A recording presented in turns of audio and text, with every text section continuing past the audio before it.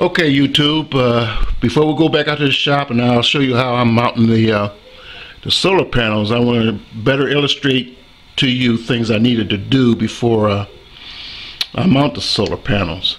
And one of the main things is passing the wire or the two wires through the roof.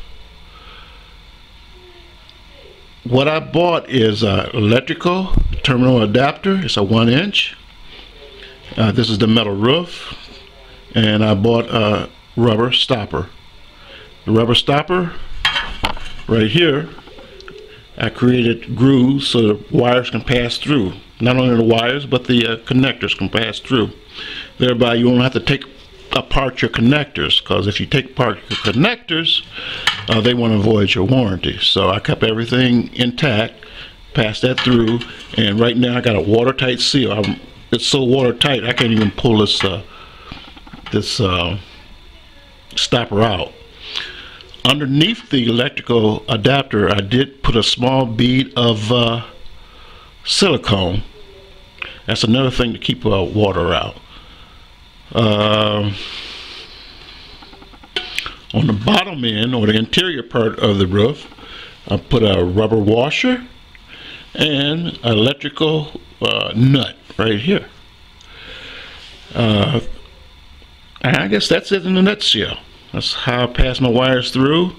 Uh, the reason why uh, I did it that way too is uh, I wanted all my connections inside where I can, uh, if I wanted to, I have to climb on top of the roof to disassemble it or, or disconnect it. So I got everything at arm's length. I guess that's going to be it for now. I'll see you out at the shop, and I'm going to show you how the uh, everything comes together with the uh, the solar panels. There you go, guys. Take it easy. Keep watching, and thanks. Bye bye. Okay, YouTube, I'm back out the shop now, and before I get to show you uh, my panels, I just want to show you a little bit what I've done as far as I'm roofing the uh, the shed and I'm showing you with the uh, side walls on it too. Uh, what you're looking at right now is a short side wall and the uh, long roof.